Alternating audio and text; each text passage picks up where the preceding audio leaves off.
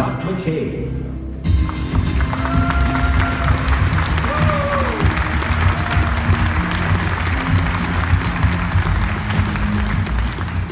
Good morning.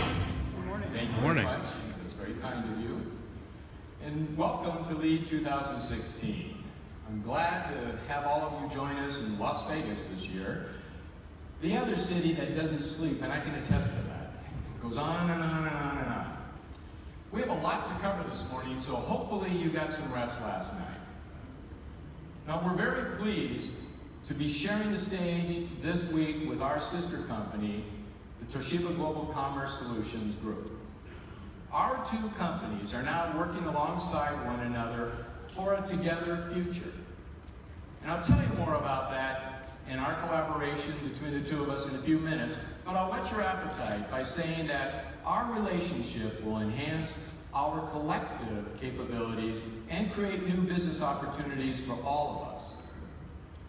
We're very excited about the prospects between the two of us going forward. But I'd like to take a moment, if I could, to extend a warm welcome to our value partners who've joined us this week. We know you've taken time out of your busy schedules, we greatly appreciate you being here because it's critical to our success. Now tomorrow, we look forward to our fifth end user conference, and we'll be joined by more than 600 customers and prospective clients. It's the largest turnout ever. And they'll be here to talk about their needs and learn about Toshiba's products and solutions and how they can improve their businesses. And we're especially pleased to be able to introduce them and you to our new lineup of eStudio MFPs, which are designed to help customers connect, integrate, and simplify workflows. But before we get to that, I'd like to take a moment and recognize a number of the Toshiba key executives that honor us with their presence here today.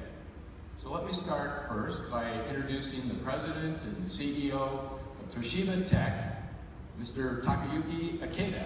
Ikeda.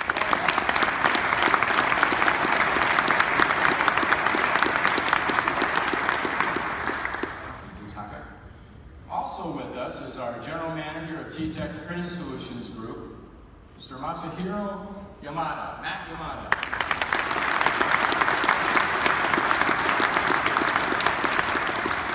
Welcome, Matt. And the Deputy Managing Director of T-Tex Printing Solutions Business, Mr. Hayataki Nonami, Nonami-san.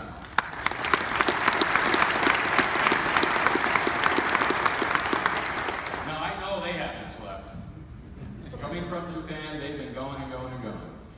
And we're very pleased to have a number of key executives with our TGCS sister company here today. So if you're here in the audience, would you please stand and be recognized?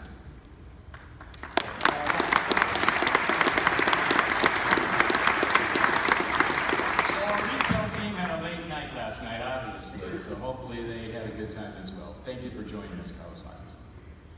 Now, when we met last in November of 2003, I've been with Toshiba America Business Solutions for about 135 days, and I couldn't wait to get started. We set a very bold agenda for the company with five top priorities for our work together. We pledged to refine Toshiba's internal operations so that we could respond to your needs faster and communicate more efficiently with our partners and our clients. We said we would leverage Toshiba's core technologies in developing new opportunities. We promised to bring products to market sooner to capture new business for all of us. And we told you that we would expand our digital signage offerings while continuing to develop best-in-class products and solutions. Finally, we explained how we would evolve from a provider of managed print to a leader in managed content and information. And I will tell you, in the past two and a half years, with your support, and with that of all of our partners, we've done that and more.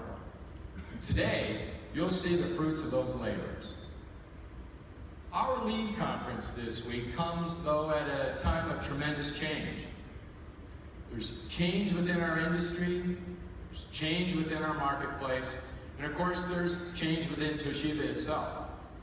Now as most of you probably know, Toshiba Corporation is undergoing a very significant transformation. It is restructuring in response to market forces and internal challenges. And the global tech giant known for making everything from rice cookers to nuclear power plants is refocusing its operations to better align with growth opportunities where it has a significant competitive advantage.